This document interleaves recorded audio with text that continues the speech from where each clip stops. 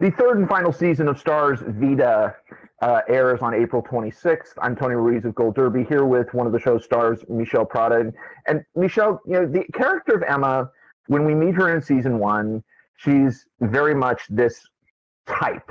Um, and she has grown and changed uh, so much throughout the three seasons of the, of the, show. And so, you know, what do you think is the biggest change uh, in Emma uh, without giving anything away into what we're going to see in season three? Acceptance. I think that is part of what the biggest change that you see for this person. Uh, she lives in a world of very black and white, A to Z, this is the way that things go, and then kind of holding people accountable for not uh, I mean, even something as simple as maybe not loving her or not doing the thing that they're supposed to do. And at some point, she's learned with Lynn that life doesn't work that way. And with Cruz and with Nico and all of the relationships, is the only thing we can control is ourselves. And we have to just accept what's around us. Um, and I think that we see a version of her. And as an actor, it was really great to kind of get to put on this other kind of color palette for her because and still have her be her but be i don't know just more looking around and and and not trying to control the people around her. Yeah and that that element of control uh, certainly extends into her relationship with her sister lynn. And and so the the dynamic there between you and melissa barrera is is to me such a such a lived in you know, authentic relationship. How has your guys' personal and working relationship evolved over these these last three years? It's, I mean, it's authentic because that's, you know, Melissa for me is a sister, and I really, really feel like working with her has created such a beautiful bedrock of what I hope to continue um, in you know other projects that I'm moving on to, uh, because it I, I feel like it's something that you're not just seeing, you feel it when you watch us on screen together because I know, you know, it's it's not easy as an actor. Sometimes you have good days and days where the muses just show up and sing around you and you're like, yay. and then days where you're just like, hello, am I alone in this? Like what is happening? And it's nice to have another actor that you get to that you feel supported by and realize that you're not alone because you know some of the stuff that we both do on the show is very emotionally revealing and it's scary to kind of expose yourself emotionally so so raw and and that yeah i'm i'm glad to hear that it that it does transfer to the viewer because i mean it's it's one of the most supportive uh, you know acting partners I've ever I've ever had. Her and Roberta to me are just Roberta Colindrez who plays uh, Nico, my love interest. Uh, I'm I'm I'm so lucky to have gotten to work with two people that I mean, we're still I mean, we we text each other almost every day. it's gonna get weird when we're not working together and we're like unhealthily obsessed with each other. But um, but yeah, it's and it you know I, I think it really shows in the safety of being on set and getting to work together because we you know man, you think it's scary to do stunts and everything, but um, you know, emotional stunts and like ripping yourself open to essentially bleed and suffer in front of each other is is really scary in life. And getting to feel like there's a safe place and someone there that's holding you in those spaces um, is is beautiful. Uh, and the show makes so many different demands on you. Is there is there a type of scenario? In playing this role that has been the has been the biggest challenge for you? I think it's not so much a challenge, but a opportunity for growth because this, you know, when I first met Gold Derby, I mean, this was my first TV show. It still is, but it was, you know, that was, it was just a lot that I didn't know and that I was kind of learning on the job and growing. You can prepare for stuff. You can go to acting classes and you can you know, do um, small roles here and there, but nothing really prepares you for leading a TV show and being, uh, you know, really kind of showing up emotionally in those things. So I think what I learned throughout this time is really trusting myself and speaking up for myself and understanding where my boundaries are because I mean obviously there's a lot of sex on the show and there's a lot of you know places that we go uh, emotionally that are really difficult like in season 2 I Emma has to have a panic attack and I used to get panic attacks and so I was like, oh, I understand like where this comes from. But as we were shooting, I started actually having a real panic attack and realizing, oh gosh, I want to like obviously keep going because I feel like this is good for the work and for the show. But then understanding where my boundaries are after that, being like, okay, well, I need to take care of myself as me in that place. And and uh and you know, sexually even with this season, uh, we, I mean, well, all the seasons we kind of really are have to be very fearless and we push the boundaries and move towards a place of agency and for women having much more uh, just confidence in their sexuality.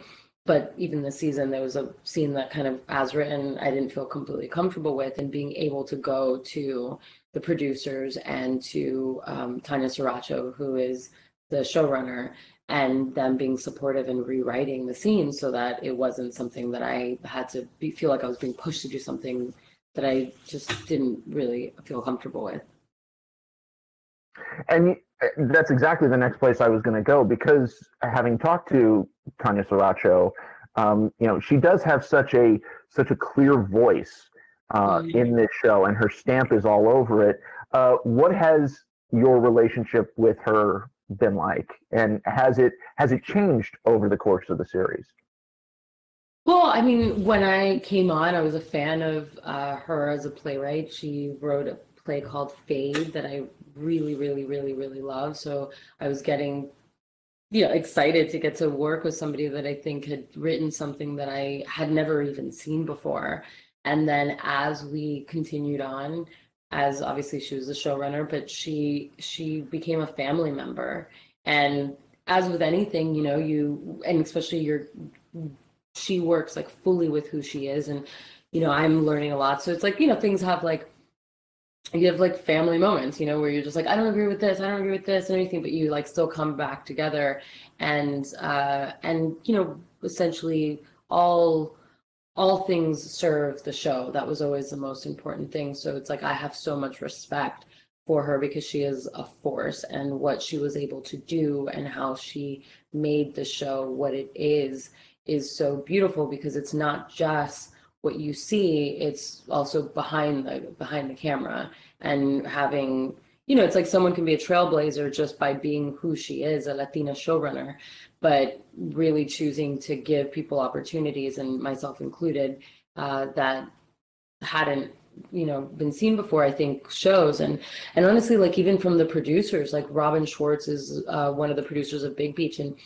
she brought me on to uh, shadow one of their other shows, Sorry for Your Loss, because I wanted to move into producing and having like just all of those pieces being built in the way that the show is being made is something that I think is obviously like the storytelling and the acting and all that stuff is great, but like there's something so incredible about feeling the support that comes even when it's not just the cameras rolling. And what's so fascinating about the show is that the show does so much. It tells so many different types of stories, you know, just, not just Latinx stories, but also queer stories. But it never seems like it's it's trying to shine a spotlight. It's just it just is. Yeah. Like it, it never stops to try to explain to the audience, like, oh, this is what we're talking about. It just trusts the audience to come in with it. Um, is that something that is that something that you want to carry forward in the other types of projects you take on? particularly if as if you go into producing? Yeah, totally. I think there's something really important about this time that we're living in to really encourage each other to tell our stories. And uh, yeah, so absolutely moving forward. I mean, I think that's what's really beautiful also about Vida is that if you were invited into someone's house, no one's going to be overly explaining to you what things are uh, you know you just exist and you are so with this show being based in boyle heights and it being obviously a mexican american story but it's an american story if you were to come over to someone's house they're not going to kind of translate everything for you every moment they may kind of give you a little bit of a heads up, but you you get invited. It's an invitation. It's not preaching to you or anything. It's an invitation to to get to know a part of uh, LA and a part of humanity that is very normal, but you may not have been exposed to. And I think finding yourself reflected in faces that might not look like yours or people that may not have grown up in the same way that you have. I know growing up, I, you know, felt like I would watch like maybe like Sex in the City or something. My life was nothing like any of those women, but I would like see myself reflected in one way or another. So I'm excited for the idea that especially with this third season, we get to talk more about different things uh, that have to do with the queer and Latinx communities for people to see themselves reflected, even if they aren't from these communities, because it's an invitation to get to know a part of uh, an American story that might not be something that you grew up with. I, I you know, it's it's always interesting to talk to somebody uh, on the final season of a show uh, where you've gotten to know the character. Um, is there a moment in any of the seasons, and it could even be from this coming season, um, is there a moment where you look back and go, "I nailed that"? Or does that does that ever does that ever come into your head? Because I've I've asked that question and actors have different responses to it. Um wow, that's a really great question. I have a hard time watching myself. And I I don't know. I I haven't watched all of it. Um, I definitely I, I will say this. I feel like when I'm not watching myself try to nail it is usually when I when things are great. Because when I watch myself watch the story and I get lost in the story and get lost in the other characters and all of that stuff, that's when I feel like, wow, there was something really wonderful there because it's not about oh, did I blink twice? Or why did I look to the left? I should have looked to the right or whatever. Because I also feel like, I mean, I I like to try to, I mean, I don't always succeed, but I like to try to feel an uninhibitedness when you're in the moment and in the scene. And maybe you, you know, your face does something weird or like, oh, I don't like that angle. But that's also kind of part of life. And I think, you know, as women and as women in Hollywood, there's this, you know, pressure, I guess, or this idea that you have to look a certain way or be a certain thing. But there's also something amazing about being kind of awkward and messy and not looking perfect all the time. And uh, and that's that's that's you know I, that's usually when i go for it or when something's kind of like weird and i'm like oh i love that like it caught that weird thing because it's just something like different and it's maybe moving the way that we look at scenes and performances from a way that like is just like oh i want to make sure i look like perfect all the time. Um going back to the question i i don't know. I i guess i don't i don't i i there are times where i've like finished an episode and i've been like wow i'm really proud of it or i know i saw the second episode of this season and i was just bawling at the end of it. And i get really proud of like seeing other people's performances and um but yeah i don't know maybe maybe one day i'll be able to be like yeah i nailed that. Um but i'm always like oh interesting i wish i had done that or whatever. But i've also like even watching the first season of either that first episode i can't get through that first episode crying at the end of it. So hmm. I feel like if it's bringing an emotional response to me and i was there and I know that it's pretend, then maybe maybe that's a good thing. As I was I was thinking as I was watching the finale episode that um, you know this whole series started with with the character of Vida, your character's mother, mm-hmm. passing away, um, and without spoiling anything, um, what do you think Emma would want to say to Vida at the end of the show? I understand. I think and it's it's man, I feel like the the the storyline still feels strong in my body because I I I feel that this season we everybody's carrying a struggle that we know nothing about and even our parents we feel like we know them so well but we meet them after what 20 30 years of life like at the point that we come in.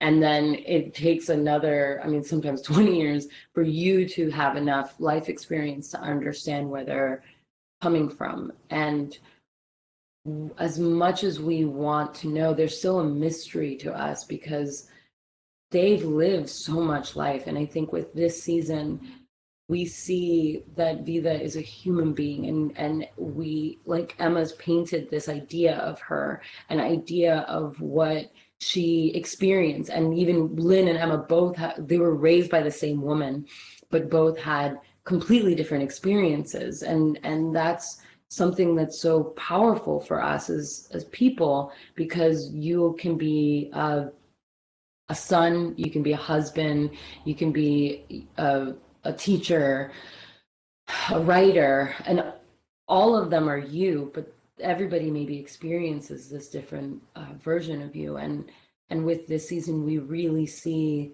the generational struggle that each of them had, and that Vida really also was suffering through so much pain and had been hurt so strongly and was literally just doing the best that she could with the hand that she was given, the same way that Emma was. So I think that in the end, it may not be I forgive you, but I get it. And I think if we can even do that for each other and as we go through life, I think, and if anybody can take away that, um, I think it'd be really beautiful. It really is a beautiful way to to end the series, and um, uh, uh, it's always always a pleasure to talk to you, Mishel. Congratulations. Um, everybody go to goldderby.com, make your predictions for the Emmys. Stay tuned for more uh, throughout the season. Uh, Mishel, congratulations. Uh, take care. Bye.